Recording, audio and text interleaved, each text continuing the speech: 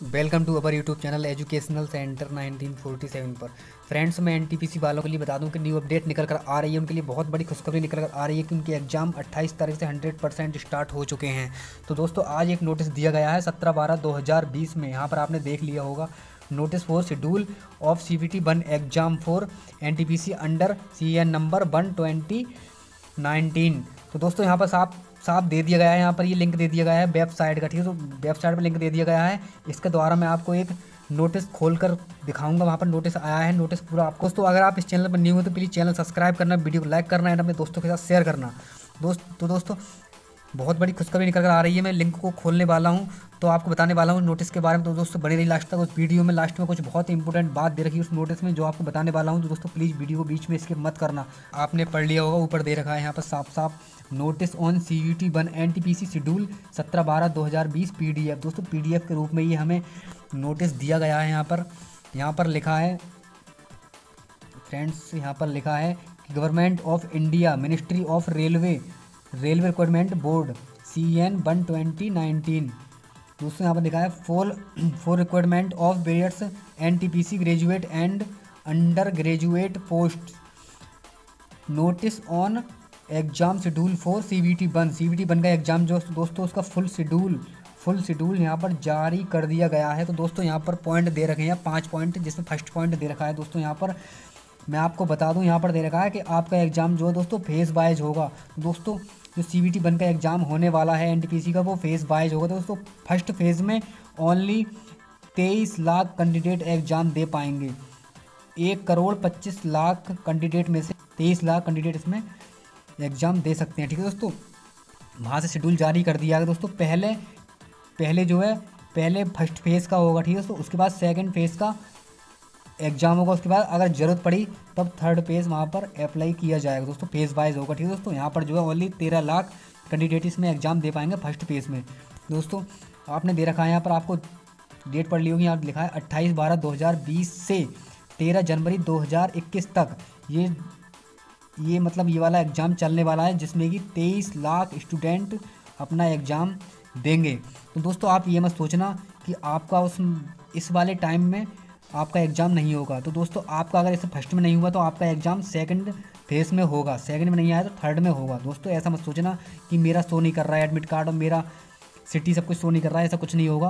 दोस्तों phase wise यहाँ पर जो मतलब एग्ज़ाम होने वाला है, क्योंकि है नहीं, आपको पता है कि कोविड नाइन्टीन की जो महामारी चल रही है, उसकी गाइडलाइन को जारी कर दिया गया है। उसके अनुसार दोस्तों गवर्नमेंट ने फैसला लिया है कि आपका एग्ज़ाम फ़ेज़ वाइज होगा। दोस्तों धीरे धीरे एग्ज़ाम कराया जाएगा। ठीक है फ्रेंड्स तो दोस्तों, पहला जो पहला वाला हमारा जो सॉरी फ़र्स्ट फ़ेज़ है, उसका फुल शेड्यूल जारी कर दिया गया है। दोस्तों, जब ये वाला फ़र्स्ट फ़ेज़ कंप्लीट हो जाएगा, उसके बाद सेकंड फ़ेज़ यहाँ पर आपके लिए अप्लाई कर दिया जाएगा। उसका फुल शेड्यूल जारी कर दिया जाएगा सेकंड फ़ेज़ का। तो दोस्तों, उसमें बता दिया जाएगा कि आपका एग्ज़ाम कितने कैंडिडेट वहाँ पर एग्ज़ाम देने जाएँगे। तो दोस्तों, जैसे यहाँ पर बता दिया गया है, तेईस लाख कैंडिडेट जा रहे हैं फ़र्स्ट फ़ेज़ में।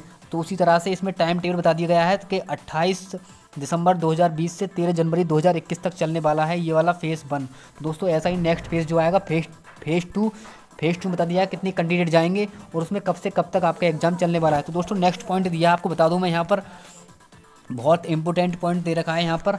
यह देख रहा है for the candidates who are schedule in the particular phase दोस्तों, जो हमारे जो 28 से लेकर 28 दिसंबर से 13 जनवरी तक का जो फेस यहाँ पर जारी किया गया, उन कैंडिडेट के बारे में बता दिया गया है।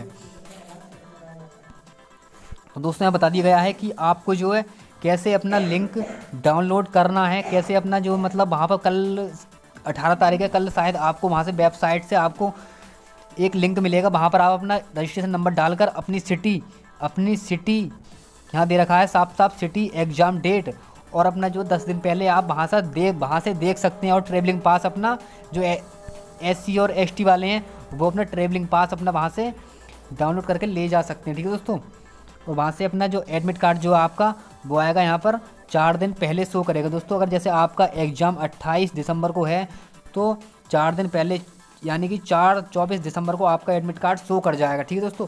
आपको चेक करते रहना है अपना ईमेल और अपना क्या बोलते हैं, जो अपने ईमेल आईडी, जो आपने लिंक करा रखी है आवेदन फॉर्म में, और अपना जो मोबाइल नंबर रजिस्टर्ड करा रखा है, उसको आप चेक करते रहिएगा, कब आपके पास ईमेल आने वाला है, कब आपके पास मैसेज आने वाला है कि आपका एडमिट कार्ड जारी कर दिया गया है, वहाँ से डाउनलोड कर लीजिएगा।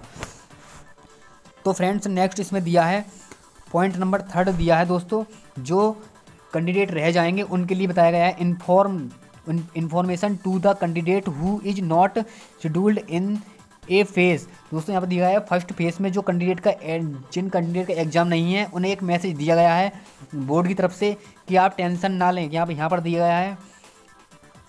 यहाँ पर दोस्तों दिया गया है ऑन दोस्तों यहाँ आप पढ़ लीजिएगा। यहाँ साफ़ साफ़ दे रखा है कि, कि यहाँ पर सिटी और date message will be will be displayed दोस्तों आपको ये मैसेज शो करेगा। जैसे दोस्तों आप अगर अपना रजिस्ट्रेशन नंबर डालेंगे उस ईमेल पर तो आपको एक मैसेज दिखाएगा dear candidate you are not scheduled in the present phase please wait for information for R R B S ठीक दोस्तों, यहाँ पर form from R R B S ठीक है दोस्तों?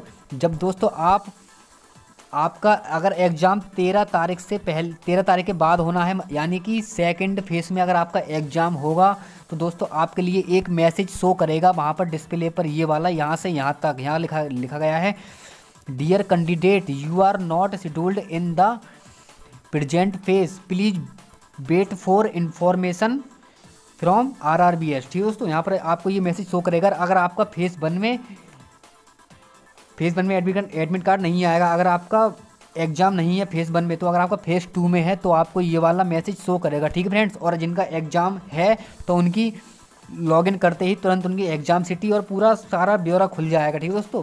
रजिस्ट्रेशन नंबर के द्वारा। तो दोस्तों नेक्स्ट इसमें आपको बता दूँ मैं नेक्स्ट पॉइंट नंबर चार दिया है इसमें। Forward application registration number link दोस्तों, आपको बता दूँ मैं कि कुछ लोगों का ईमेल आ रहा था, कुछ लोगों का मैसेज आ रहा था कि कि सर हमारा जो ई कि हमारा जो रजिस्ट्रेशन नंबर है वो खो गया है, पासवर्ड खो गया है तो हम कैसे अपना एडमिट कार्ड डाउनलोड कर पाएँगे, कैसे क्या करेंगे? उन लोगों को बहुत टेंशन हो रही थी दोस्तों। बहुत ही इंपॉर्टेंट बात यहाँ ने, यहाँ पर रेलवे ने आपके लिए दे दी है कि अगर आप अपना रजिस्ट्रेशन फॉर्म खो चुके हैं, अगर आप अपना रजिस्ट्रेशन नंबर भूल गए हैं, आपके पास कुछ भी नहीं है तो आप इसकी जो मतलब आरआरबी की ऑफिशियल वेबसाइट है, वहाँ पर जाकर अपना अपना जो है, क्या बोलते हैं एडमिट कार्ड डाउनलोड कर सकते हैं, ठीक है दोस्तों? विदाउट रजिस्ट्रेशन नंबर के। तो वहाँ पर जो कुछ मांगेगा, वो आपको देना पड़ेगा, ठीक है तब आपका रजिस्ट्रेशन नंबर वहाँ से आपको मिल जाएगा, ठीक फ्रेंड तो आप टेंशन मत करना कि आपका आपका फॉर्म खो गया है और आपका आपके पास रजिस्ट्रेशन नंबर नहीं है, ठीक है फ्रेंड तो नेक्स्ट इसमें जो दिया है, दोस्तों यहाँ पर दिया है, पाँच नंबर पर दिया है कैंडिडेट आर एडवाइज कैंडिडेट को एडवाइस दी जाती है कि वो ओनली जो आपके लिए जो वेब ऑफिशियल वेबसाइट है ओनली उसी पर भरोसा करें और किसी और साइट पर भरोसा ना करें। ठीक है फ्रेंड्स आपको ये मैसेज किया गया है। बहुत ही इंपॉर्टेंट मैसेज किया गया है दोस्तों कि आप ओनली जो ऑफिशियल वेबसाइट है R R B N T P C की या आर आर बी की, ठीक है दोस्तों? आप उसी वेबसाइट पर बिलीव करें। दोस्तों, ये जो आपके पास नोटिस मिला है, वो बहुत ही ऑफिशियल है। बहुत ही इंपॉर्टेंट मैसेज आपके लिए। यहाँ पर डेट भी दे रखी है आपके लिए डेटेड सत्रह बारह दो हज़ार बीस। ठीक है फ्रेंड्स? यहाँ पर आपके लिए मैसेज दे चुके हैं, ठीक है दोस्तों? अब आपका जो कल डेट आने वाली कल अठारह तारीख है तो कल आपके लिए जहाँ तक है उम्मीद है कि कल आपके लिए वेबसाइट खुल जाएगी। वहाँ पर आप अपना रजिस्ट्रेशन नंबर डाल कर अपनी सिटी, एग्ज़ाम डेट, ये सब कुछ आप चेक कर पाएँगे कल से। तो दोस्तों, आपकी अगर एग्ज़ाम 28 दिसंबर में है तो आपको एडमिट कार्ड 24 दिसंबर को मिल जाएगा। दोस्तों, अगर आपको वीडियो अच्छी लगी हो तो प्लीज़ चैनल सब्सक्राइब करना अगर आप न्यू हैं।